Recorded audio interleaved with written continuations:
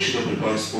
Witam wszystkich Państwa na y, konferencji prasowej przed 13 galą MMA Cup y, Białystok Podlasie 2019, która odbędzie się y, 29 września y, w hali przy ulicy Świerkowej Uniwersytetu w Białymstoku o godzinie 19.30.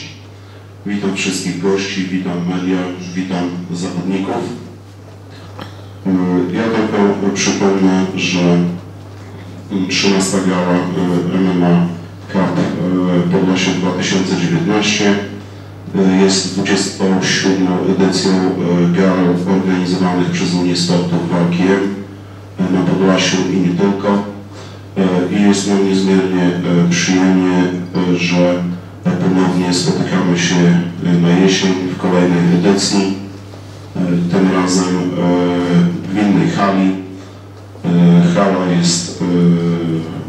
Przystosowana do tego rodzaju eventów. Jest to nowum. Myśl, myślę, że wzorem innych hal spełni ona funkcjonalność i odbędą się dobre zawody.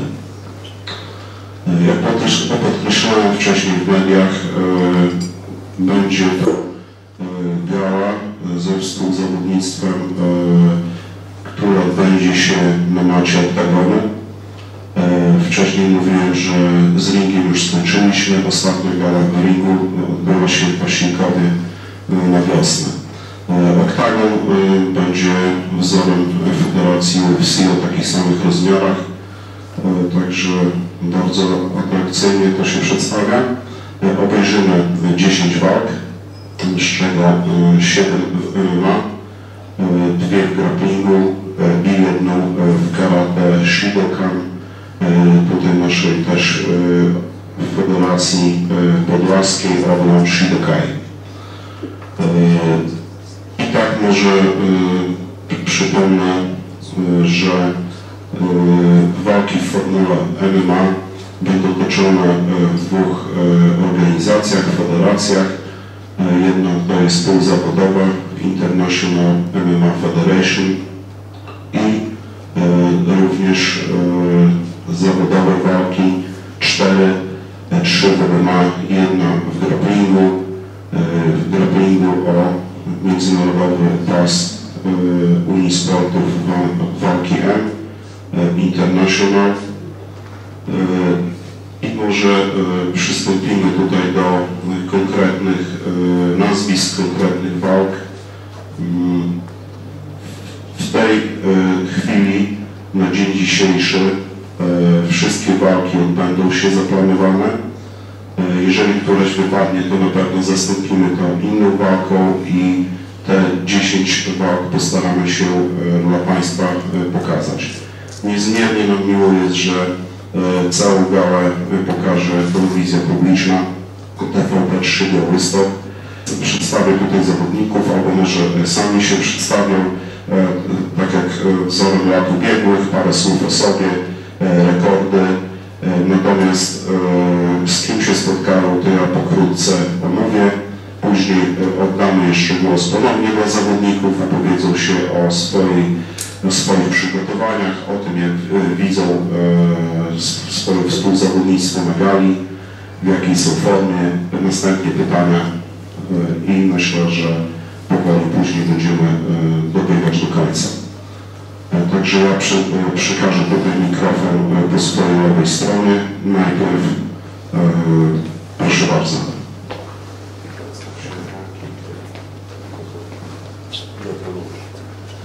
Witam, nazywam się Kamil Czyżewski, rekord zawodowy 01. Trenuję około 5 lat, jestem w dobrej formie przed walką. Byłem na Mistrzostwach Europy, na Mistrzostwach Świata z różnym powodzeniem. Schodzę kategorię niżej, wydaje mi się, że to dobry krok. Jednak klatka wszystko zweryfikuje, zobaczymy 29 jak to wszystko wyjdzie, ale jestem dobrej myśli. Ciężko się przygotowywałem do tej walki.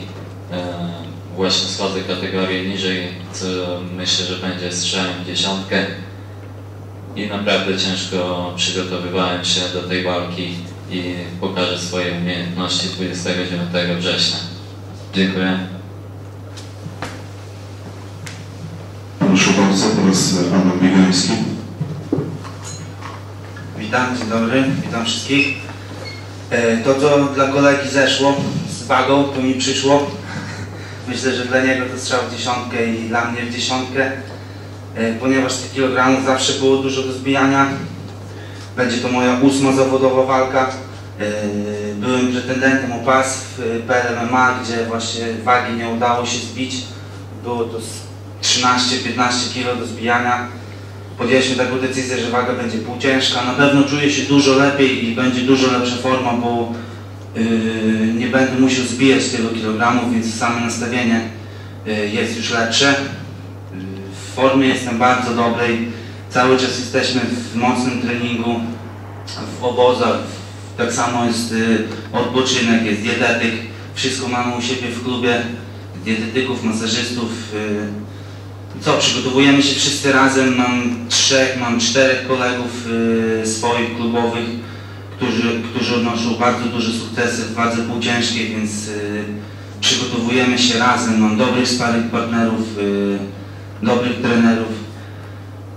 No co mogę więcej powiedzieć, zobaczycie wszystko na gali, forma będzie naprawdę dobra i, i postaram się dać bardzo dobre show, bardzo dobrą walkę, żeby ludzie zobaczyli jak nasze MMA w Białymstoku tutaj wygląda i na jakim jesteśmy poziomie, bo zdobywamy medale Mistrzostw Świata, zdobywamy, zdobywamy medale Mistrzostw Europy, wcale nie jesteśmy gorsi od, od Stanów, od Brazylii i, i postaram się Wam to pokazać, a wręcz na pewno Wam to pokażę, ale my się postaram. Dziękuję bardzo.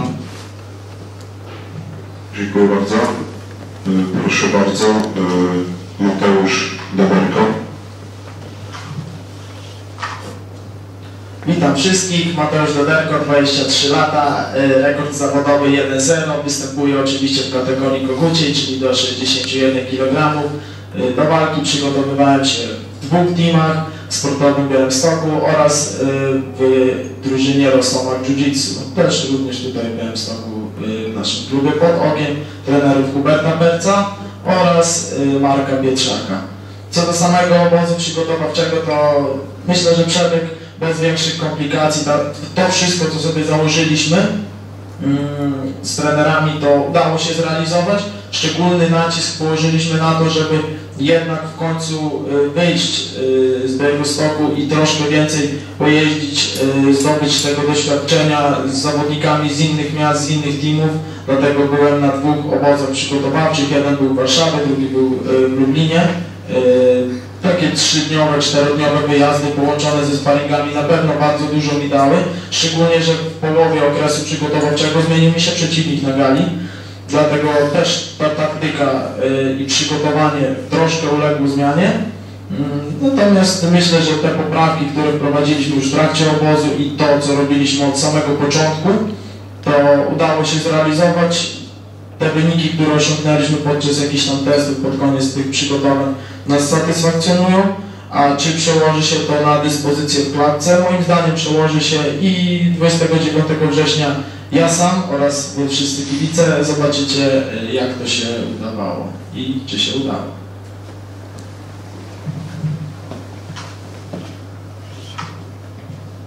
Witam serdecznie, nazywam się Paweł Roszkowski, mam 18 lat i będę bił się półzawodowo z rekordem 5-1 e, w kategorii 70 kg. E, Przygotowywałem się w dwóch klubach, Ragnarok Białystok i Urban Jiu-Jitsu. O przeciwniku swoim to za mocno nic nie wiem, tylko wiem, że wychodzi was z taekwondo. Nie, to chyba tyle. Dziękuję bardzo. Mm, Dziękujemy zawodników za krótką prezentację. Mm, I może przystąpimy do e, omówienia tutaj e, par. E, Ja tylko jeszcze przypomnę, że mm, to jest czwórka naszych e, białostockich zawodników. E, Natomiast jeszcze tutaj jest, będzie walczył e, w walce półzawodowej Dorian Wasilewicz. I on będzie mm, również miał przeciwnika, który ma podobny rekord, jeżeli chodzi o półzawodowe MMA. Nieobecny również jest e, Miłosz Staśkiewicz e, z naszego, można powiedzieć, Podlasia, konkretnie z Suwałk. E, Miłosz Staśkiewicz będzie walczył o pas Unii Sportów Walki M z Litwinem Tomasem Markusem. Ja tylko powiem, że będzie to ciekawa walka również. Te walki pojawiają się gościnnie u nas na e, galach. Stawką będzie pas. E, Początkowo miał e, z, Mił- z Miłoszem Staśkiewiczem walczyć Krzysztof Kułak, ale ze względu na zmianę terminu gali Krzyś, Krzysiek Kułak odlatuje do Stanów, do organizacji Saudi Gladiator i tam będzie walczył w obronie mm, pasa. Dlatego taka zmiana. Natomiast jeżeli chodzi o Tomasa Markusa, to jest bardzo e, utytułowany zawodnik, jeżeli chodzi o e, wschód, czyli nie tylko Litwę, ale tam mistrz, mistrzem Łotwy był poza tym dwa brązowe pasy w brazylijskim jiu-jitsu, także e, na pewno będzie na co popatrzeć. I tak zaczynamy teraz już od walk zawodowych. Mateusz Doberko e, spotka się z bardzo ciekawym zawodnikiem Dawidem Martynikiem. Jest to e, zawodnik z Czech, e, który też e, trenuje w Polsce, w Cieszynie Polskim, natomiast będzie reprezentował Czechy. Jest to bardzo ciekawy zawodnik, silny fizycznie, pomimo że jest to waga kogucia. Widzieliśmy go i jego brata już na batalii wschodu dwa lata temu. E, Bardzo widowiskowe e, walki oddali. E, Właśnie tu Mateusz Dodarko walczył z jego bratem.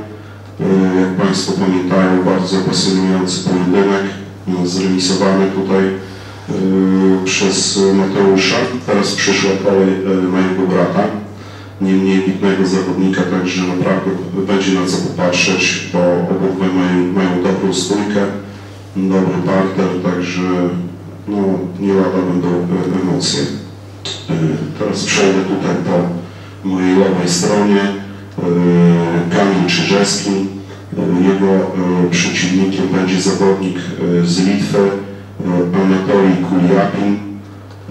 Anatolij Kuliapin również ma walkę zawodową, przegraną i jest on, też ma bogatą karierę amatorską wcześniej, gdyż był e, na piedestale e, na Litwie i tam oni mają też na Litwie turniej e, taki bałtycki, gdzie występują właśnie też zawodnicy z, Łotwy i z Estonii. Tam też zdobył medal właśnie na tych mistrzostwach, jeszcze jako amator oczywiście. Także mm, z tego co wiem, to też tutaj patrzyliśmy też z trenerem Pawłem Zalewskim, żeby e, ta walka była na odpowiednim poziomie, żeby zawodnicy byli e, dobrze dobrani i myślę, że to e, zostało, zostanie zrealizowane, tak? Kolejna walka zawodowa. Zapomniałem powiedzieć, że walka wieczoru, bo dwie walki wieczoru będą właśnie. E, Pierwsza to będzie walka e, Adama Biegońskiego, druga właśnie Mi- Miłosza Staśkiewicza. E, Rywalem naszego lidera, można powiedzieć, tutaj Adama Biegońskiego, bo w tej chwili ma najlepszy rekord tutaj na Podlasiu z, z, z zawodników zawodowych. Już nie mówiąc o karierze amatorskiej, medalista Mistrzostw Świata i Europy. Jego przeciwnikiem będzie znana postać już, która, znany zawodnik, który u nas już brał udział w galach. Jest to Krzysztof Chińczyk-Pietraszek e, z Ełku. E, Krzysztof Chińczyk-Pietraszek e, jest zawodnikiem, który nigdy nie odmawia wyzwań i to jest dla niego szacunek. Mm, Tutaj dwa razy walczył w Białymstoku, raz wygrał kilka lat temu e, w walce e, zawodowej e, z Radosławem Piktelem. E, Drugą e, walkę e, półtora roku temu e, stoczył on e, z Pawłem Korbojem e, Zakrzewskim, niestety przegrał. No i teraz przysz, przyszła czas, e, przyszedł czas na trzecią walkę e, i myśl, e, myślimy tutaj e, wspólnie też z trenerem, że będzie to e, dobra walka. E, Dla Adama jest ta walka bardzo potrzebna, e, gdyż e, po przegranej em, o pas e, Adam po prostu odbudowuje swoją formę. Wiemy, że następne walki, nieważne czy dla naszej federacji, czy dla innej federacji, mogą być to walkami już o pas. E, I dlatego celem e, i założeniem tej walki jest e, powrót no, do najwyższej formy Adama, żeby w końcu zdobył ten wymarzony pas i przyniósł tutaj e, na Podlasie. Tak naprawdę MMA jest młodym sportem w dalszym ciągu w Białymstoku, pomimo że tutaj nasza federacja też z innymi federacjami, tak, em, galę od 10 lat, to jednak e, cały czas e, brakuje nam takiego naprawdę lidera z pasem, który by osiągnął taką międzynarodową sławę. My jako Unia Sportów Walkiem e, no też staramy się promować naszych zawodników, ale wiadomo, to jest rynek lo- lokalny, każdy chce się bić za większe pieniądze w poważniejszych federacjach, także nasza federacja jest uważam zawsze na tym samym poziomie jest to dobry zaczątek do, do kariery, tak? Niemniej jednak staramy się czasami, e, jeżeli e, jest taka okazja, organizować walki o pas, e, dlatego ponieważ e, mm, walka o pas to jest wyróżnienie, to jest prestiż, nieważne jaka to jest organizacja, tak jak to wcześniej podkreśliłem, ważny jest przeciwnik, ważny jest cel. Ja przypomnę, że jedynym zawodnikiem, który, zawodowym, który zdobył e, pas e, Federacji e, Profesjonalnej Ligi MMA to jest Paweł Zalewski i w dalszej perspektywie wie- liczymy, że Adam spełni nasze marzenia i na kolejnej gali profesjonalnej Ligi MMA, która tam bodajże odbędzie się w Rzeszowie, później w Warszawie, Adam na pewno zaprezentuje swoje umiejętności i liczymy, że przywiezie ten pas. To jeżeli chodzi o e, tutaj walki e, profesjonalne i profesjonalne. Myślę, że tutaj dosyć wyczerpująco e, przedstawiłem przeciwników, jak i naszych zawodników. Krótko jeszcze dodam, że mamy tutaj nowy też projekt, o którym za dużo nie chcę powiedzieć, ale jest to projekt, który będzie z Federacją Litewską e, organizowany. E, Będziemy współorganizować galę. Nie mamy jeszcze miejsca, ale na wiosnę planujemy z litewską organizacją również e, zorganizować coś razem. Padła propozycja na Kowno. My będziemy bronić Białegostoku. Zobaczymy, co z tego wyjdzie, ale na marginesie jestem upoważniony do, do, do takiej informacji, że na pewno taka gala się odbędzie. Natomiast czy na Litwie, czy tutaj w Polsce, w Białymstoku, to myślę, że zadecydują też finanse, bo e, też e, litewscy sponsorzy i, i tamte całe środowisko e, ma swoją jedną dużą galę e, e, Lithuania Hero, e, ale chcą coś jeszcze, tak jak, e, tak jak powiem, dorzucić i tutaj stąd e, nasza e, propozycja, żeby to zrobić razem. To tyle, jeżeli chodzi o walki i o jakieś plany e, gal e, organizowanych przez Unię Sportów Walki M. E, Chyba czas na pytania, tak, żeby nie przedłużać, to bardzo proszę o pytania. Jeżeli są, to w miarę swoich możliwości postaramy się odpowiedzieć.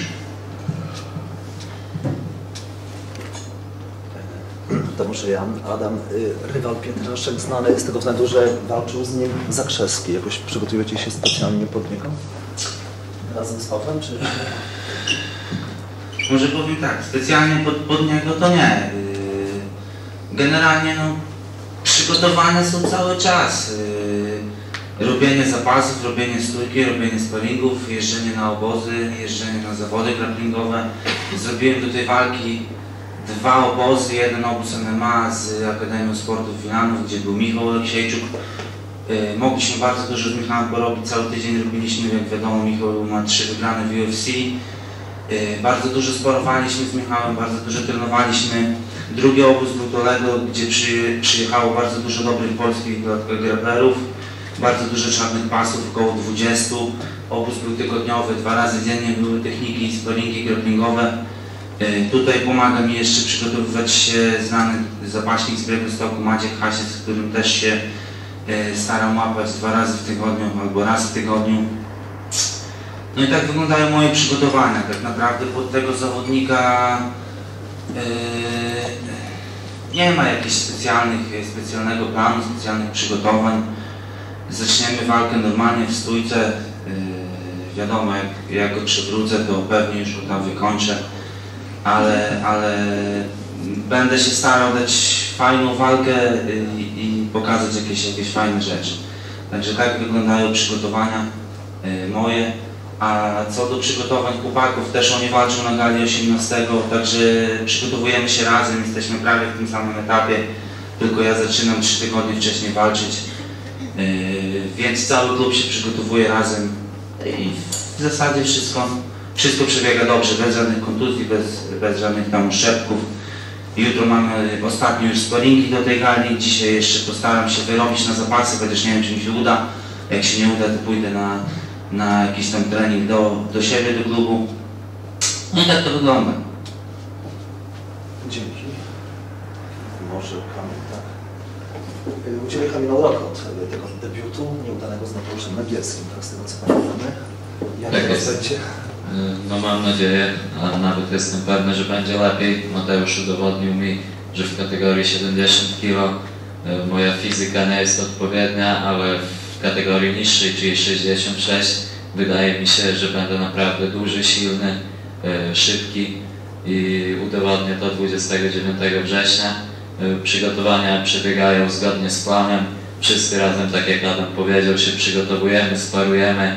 Nawet z tymi większymi chłopakami mi się zdarza sparować, więc o swoją siłę i fizykę na pewno nie muszę się martwić. I forma jest y, odpowiednia. Myślę, że y, 29 pokażę na co mnie stać. Y, Później trzy tygodnie po tej gali y, będę walczył także na PLMMA, czyli tempo mocne, y, powrót po kontuzji, ale wydaje mi się, że wrócę silniejszy. A z tą mistrzowagą dobrze się czujesz? Y, Na treningach czuję się bardzo dobrze. Oczywiście zostało jeszcze parę kilo do zrobienia, ale myślę, że się uda bez problemów. I naprawdę siła dużo mi nie spadła, szybkość się poprawiła i myślę, że to strzał w dziesiątkę ta kategoria wagowa.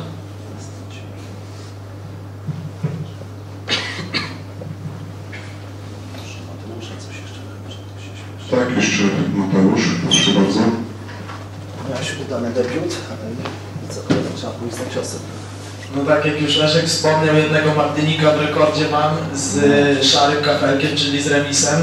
Y, I nie ukrywam, że kiedy tylko dowiedziałem się, że właśnie z Dawidem będę miał tą walkę, to od razu z trenerami ustaliliśmy game plan sztywno pod niego i natychmiastowo jakby może nie to, że odpuściliśmy pewne elementy gry, ale nie ukrywam, że bardzo skupiliśmy się na tym, żeby walka w stójce, szczególnie presja, uległa dużej poprawie. Stąd te wyjazdy do Warszawy i do Lublina, bo o ile mam możliwość w Białymstoku ćwiczyć cały czas, poprawiać swoje y, umiejętności i kondycję i po prostu stawać się lepszym zawodnikiem, to tyle ze sparingami jest trochę ciężej, bo nie ma zbyt wielu chłopaków po prostu w tak niskiej wadze, a nie zawsze jest dobrze robić cały czas z tymi ciężkimi, dla mnie ciężkimi 80-kilogramowymi chłopakami. Stąd wyjazd do Warszawy, gdzie miałem okazję naprawdę z dobrymi zawodnikami przerobić sporo rund sparingowych. E, Tak samo do Lublina udałem się, gdzie kilku dobrych kickboxerów y, skrzyknęliśmy ekipę po prostu i, i mocno y, posparowaliśmy. No, Dawid jest wyższy ode mnie, y, obaj razem z Patrykiem, jak na tą kategorię wagową są bardzo wysocy, są mega silni, miałem okazję to poczuć y, wtedy dwa lata temu walce y, z Patrykiem, ale obaj mają ten sam styl, tego stylu nie zmieniają przez lata, bo od 2015 roku walczą dokładnie tak samo, a ja w każdej swojej walce jakiś tam element staram się zmienić i jakiś tam dodać, więc niekoniecznie Mateusz Dederko z kwietnia z wygranej walki w Basiłkowie będzie tym samym Mateuszem Dederko teraz za tydzień y, na gali. I to się postaram udowodnić, natomiast sam jestem ciekawy, y, bo też kilka osób pytało mnie, jakie są predykcje na, na tą walkę, czy ona się skończy przed czasem, jak się skończy, jaki jest game plan. Oczywiście tego nie będę zdradzał, natomiast wiem, że y, Dawid będzie w stanie przewalczyć 15 minut cały czas na y, wysokim tempie. Ja odwzorowałem y, tą sytuację z walki w swoich przygotowaniach, czyli kondycyjnie postawiliśmy na to, żeby te wszystkie elementy się spięły i 15 minut nie było jakimś wielkim wyzwaniem kondycyjnym, żeby mógł po prostu realizować swoją taktykę i walczyć po swojemu, a nie dać sobie narzucić jego styl, tak jak to było w walce dwa lata temu, gdzie w drugiej rundzie po prostu dałem sobie narzucić styl y, przeciwnika. Kilka błędów zostało popełnionych. Y, Myślę, że tym razem y, walka będzie po prostu spokojniej i bardziej zdecydowanie przeprowadzona na moją korzyść. Jasne, dzięki. Y, Czy są jeszcze pytania? Ja korzystając z okazji jeszcze chciałbym tutaj, e, żeby nasz e, wielki mistrz, który zaszczycił swoją obecnością, Piotr Sawicki, ja podejdę do Ciebie, e, Piotrze, może z mikrofonem. Chcę, żebyś powiedział z dwa zdania przy okazji o swoim evencie, bo z Piotrkiem współpracujemy niemalże od samego początku. Znamy się z Piotrkiem tam 20 lat, może dłużej. I dlatego zawsze posłużył dla nas pomocą. E, Tutaj też zawodnicy ze sportowego Białegostoku mieli przyjemność e, po prostu trenować pod okiem e, Piotra. Także muszę do Ciebie ile, bo zapraszałem Piotrka, żeby to usiadł, ale Piotrek mówi, słuchaj, to Twój event, ten dywan działa, nie wiem, swój za tydzień czy za półtora. Także żeby nie było jasności, że Piotrka pomijamy tutaj. Proszę.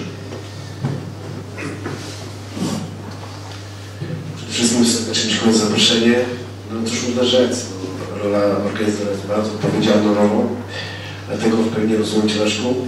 A chłopakom to życzę tylko zadowolenia z realizacji game planu, no i żeby wrócili też do śmiechu. Ale jak miałem kiedyś e, przyjemność e, wspólnie z Wami trenować, jedyne co, czego Wam nie mogło zarzucić to braku charakteru i dążeniu do realizacji swoich celów. Także trzymajcie tych marzeń i wierzcie w nie głęboko, a kwestia czasu się stawią. Pozdrawiam Was serdecznie.